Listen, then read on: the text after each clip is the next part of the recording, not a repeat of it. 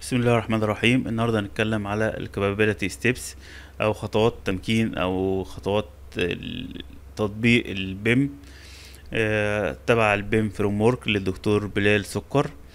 إحنا عندنا طبعا ثلاث عناصر أساسية اللي هي ال BIM stages وال BIM fields وال BIM lenses. اتكلمنا عنهم بالتفصيل قبل كده وهنتكلم عنهم برضه تاني النهارده.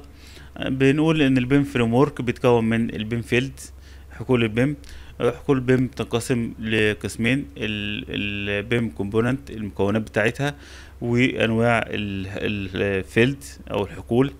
ال field component بتنقسم إلى ال BIM players اللي هي اللاعبين الأساسيين وال يعني ممكن تلاقي مثلا آه، الشركات اللي هي شغالة في ال software أو الشركات اللي شغالة في ال hardware أو المؤسسات التعليمية أو الناس اللي هي بتضع القواعد بتاعة ال BIM.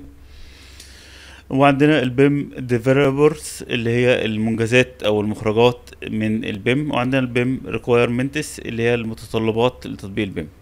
ولو إحنا بصينا أو قسمنا ال BIM fields لل BIM ل field types الأنواع بتاعتها هنلاقي إن إحنا عندنا BIM technology و BIM processes و BIM policy عندنا التكنولوجيا وعندنا العمليات وعندنا السياسات. السياسات المقصود بيها القواعد أو الكود اللي إحنا هنشتغل عليه.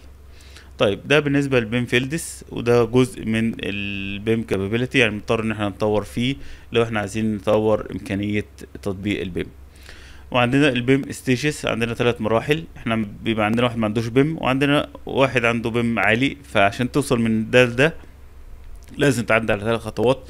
لازم أول خطوة اللي هي ال BIM stage 1 اللي هي إن أنت بتعمل موديل BIM stage 2 بيبقى عندك collaborative بين ال- ال- العناصر أو بين المجالات أو بين ال discipline وعندنا ال BIM stage 3 ده بيبقى خلاص أنت عندك integrative بين العناصر كلها وفي تكامل بين كل العناصر وعندنا ال BIM lenses اللي هي آه، العدسات إن أنت ممكن تقسم ال BIM لجزء معين لأجزاء بحيث إن أنت تقدر تناقش وتدرس التطبيق يبقى أنا عندي بقسمه حسب ال discipline أو حسب ال scoping أو حسب ال conceptual المفهوم بحيث إن أنا أقدر أركز على جزء معين. ده كل دوت كل ده على أساس إن أنا آه، أعلي تطبيق ال BIM أو فعالية ال BIM في ال BIM framework لو جينا نبص كده عندنا شركه رحتها فلقيتها pre-BIM يعني ما عندهاش BIM خالص. وعايزة توصل لل post-BIM تبقى عندها BIM perfect super فبنمر بمراحل. المرحلة الأولى آه، بيبقى عندنا الناس بتعمل موديل المرحلة الثانية في تكامل في تعاون بينهم. والمرحلة الثالثه يبقى في تكامل بينهم وفي ذكاء معين. عشان أوصل من ده لده لازم step خطوة خطوة. فدي مرحلة A ودي مرحلة B دي مرحلة C دي مرحلة D. يعني أنا عندي أربع خطوات. لو جينا نبص كده بنلاقي إن كل واحدة فيهم لازم آه، أطور في ال technology وأطور في ال processes وأطور في ال policy. يعني لازم يكون في تطور عشان اتنقل من مرحلة A ل B ل C آه، اتنقل من واحد لاتنين لتلاته لازم يبقى أنا بطور في ال technology وبطور في- ال processes ولازم أطور في ال policy. لازم آه، يبقى في تقييم وأبدأ أشوف إيه الجزء اللي ناقص عندي إيه الاجزاء اللي ناقصة إيه الحاجة اللي أنا محتاجها عشان أتنقل من واحد لاتنين. مفيش حد بيتنقل من pre-BIM ل post-BIM على طول أو حتى بيخطي أي خطوة. يعني مفيش حد من pre-BIM تلاقيه راح لل three. لا لازم هيعدي على الخطوات دي كلها. بنبص على ال requirement ال requirement بنلاقي عندنا ثلاث حاجات.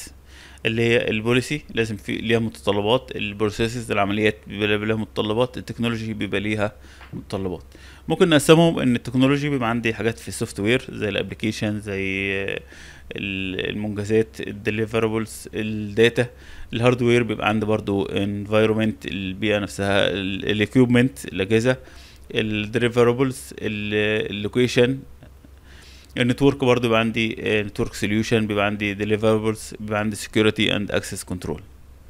لو إحنا بصينا على ال processes بتلاقي عندي إن أنا عندي resources موجودة عندي activity activity عندي workflow عندي product عندي leadership management لو أنا بتكلم على ال policy بيبقى عندي guide موجود. بعرف إيه الخطوات اللي أنا همشي عليها.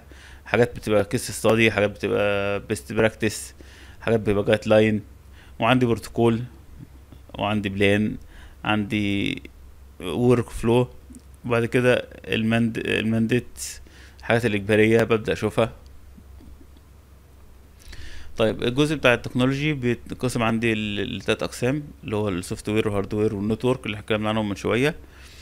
مهم جدا هو الناس كلها معتقدة إن إن ال BIM هو ده بينما لأ ده ال BIM أكبر من كده بكتير. يعني لو جيت تبص كده إن ال BIM ده جزء معين capability بنتكلم عن ال technology وجزء من ال technology هو ال software وجزء من ال software ده بيبقى برامج كتيرة جدا Revit و ArchiCAD و Tekla وبرامج كتيرة جدا. دي كلها جزء من ال software اللي هو جزء من ال technology اللي هو جزء من ال من ال BIM framework تمام؟ ال processes هي عندي بقت أوضح شوية.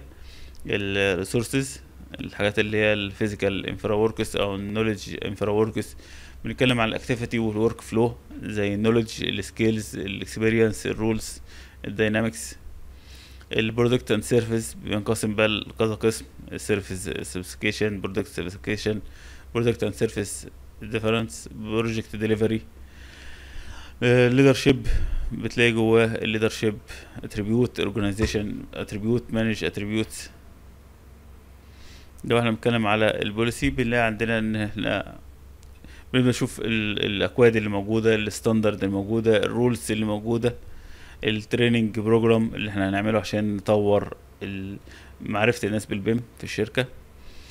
ال capability ممكن آه، يبقى عندنا مثلا بعض ال software يعني إحنا بنتكلم على أمثلة زي ما من من من stage واحد لاتنين فمثلا الجزء بتاع ال technology software ممكن أستعين بحاجة آه، تقول لي إذا كان الموديل صح ولا غلط زي ال Solibri أو Navisworks آه، بنطور ال workflow لو إحنا عايزين نتنقل من خطوة اتنين لتلاتة بنطور workflow طبعا كل خطوة من الخطوات ديت بيبقى ليها كذا نقطة ببدأ أدرسها ببدأ أشوف آه، إزاي هطور مثلا في الجزء بتاع ال technology إزاي هطور في ال processes إزاي أطور في ال ال policy اللي عندي. كل الحاجات دي ببدأ أطور فيها. كل خطوة من الخطوات بيبقى ليها بعض النقاط الأساسية اللي إحنا بنطور فيها. يعني على سبيل المثال ال BIM stages عندي من صفر لواحد في بعض النقاط من واحد لاتنين من اتنين لتلاتة وال BIM fields technology. يعني أنا ممكن مثلا بتكلم إنها اتنين من هنا لهنا طيب الجزء ال technology إيه الحاجة اللي المفروض أعملها؟ طب إيه الجزء الخاص في ال processes اللي المفروض أعملها عشان اتنقل من واحد لاتنين؟ إيه الجزء الخاص ع- في ال policy عشان اتنقل من صفر لواحد؟ طب أنا موجود فين بالظبط وبصدق موجود فين؟ يعني ما أقعدش أقيم نفسي إن أنا مية في المية وإن أنا. يعني في ناس بتبعت لي ال CV إنها شغالة في في في BIM 3 ما فيش حد لسه وصل ل BIM 3 وهي إن كل الشغل بتاعك يبقى على software واحد ما بيحصلش تبادل. ف بتلاقي ناس كاتبة إنها وصلت للمرحلة ديت. تمام؟ آه شكرا لحسن استماعكم وأتمنى يكون الموضوع مفيد وشيق. السلام عليكم.